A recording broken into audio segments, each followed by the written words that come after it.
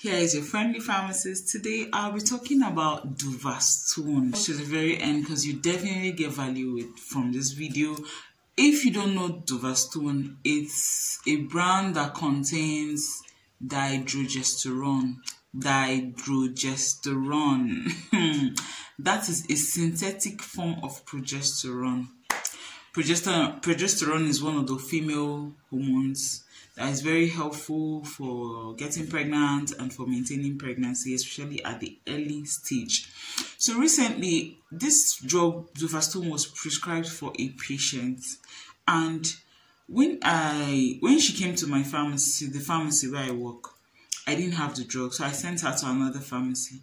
So when she got there, you know, it was mentioned that the drug is for infertility and she's preg she was pregnant. So she came back to me. She was like, ah, pharmacist, I came to look for doctor that gave me this drug. Why would she be giving me a drug that is for infertility when I'm pregnant?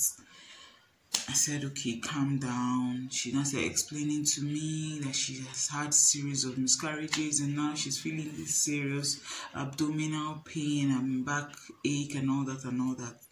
And then she she she said what she explained to the doctor and the doctor placed her on this drug for some weeks. I advised her that this drug has several indications, several uses. Firstly, it can be used for abnormal or irregular periods or menses. It can be used for premenstrual syndrome. It can be used for endometriosis. Endometriosis is simply when the lining of the uterus starts to grow outside the uterus. It is very painful. But when you administer this medication Duphaston dydrogesterone it helps to like you know stop that whole process of growth outside the uterus thirdly or fourthly next the drug can be used for people that have habitual miscarriage. At the early stage of pregnancy progesterone is very important. Some people have low levels. Some people have hormonal imbalance. They call it um, okay some people have i don't want to use jargons in this video. Some people have hormonal imbalance. This medication can help to sustain that pregnancy at that early stage to avoid miscarriage next this drug can be used for infertility with luteal phase disorders at the luteal phase luteal L-U-T-E-A-L phase of your um, cycle, progesterone is very important. So this low progesterone can affect fertility. That's why this drug may be administered for people that have that type of infertility. So when you're taking this medication, you can take it with or without food. When taking Duphaston, you may experience some side effects like nausea, like you feel like vomiting, you may feel headache, you may feel breast tenderness. All these are side effects. Some people talk about it's best to let you know the side effects. It's not like you would um, experience them. You understand? Because we're all different. Like I always say, we have different makeup. But you should know these side effects. There are so many of them. There's so many side effects associated with the use of this medication. But whatever you cannot endure, let your prescriber know.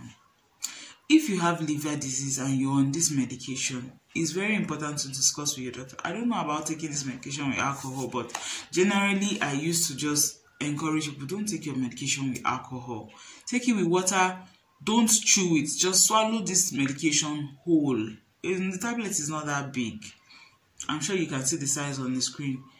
It's not that big. So swallow it whole and make sure you maintain the exact time you take that medication not like you take it in the morning today tomorrow you take it in the evening mm -mm.